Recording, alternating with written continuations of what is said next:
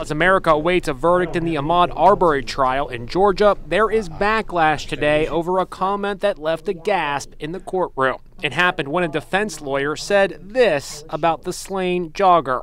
In his khaki shorts, with no socks to cover his long, dirty toenails. Arbery's mother, Wanda Cooper Jones, stormed out of the courtroom, and today she's denouncing the lawyer's remarks. It was very, very disturbing. I thought it was very, very rude to talk about his long, dirty toenails and to totally neglect that my son had a huge hole in his chest where he was shot with that shotgun. It was so cruel and so inappropriate and really irrelevant to what is happening in this case. Is she trying to make the case that because he has dirty toenails and long toenails, apparently, too, that he's not really a runner? You were there in the courtroom when this toenails comment was made. What was the reaction from Ahmaud Arbery's mother? There was a gasp behind me from several members of Ahmaud Arbery's family.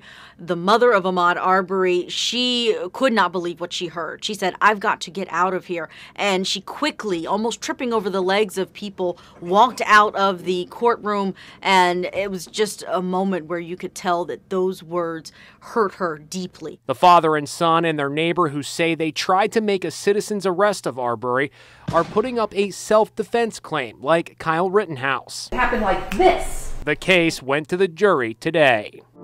Julia. She's best known for this awkward moment when she was a contestant on TV's The Bachelor in 2015 and thought her name had been called during the rose ceremony.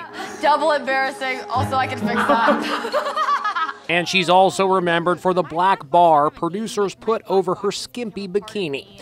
But now, Jillian Anderson has a surprising new job publicist for Kenosha gunman Kyle Rittenhouse. Anderson tells Inside Edition she's coordinating the media hits for Rittenhouse, whose exclusive interview with Tucker Carlson aired last night. People want to kill me.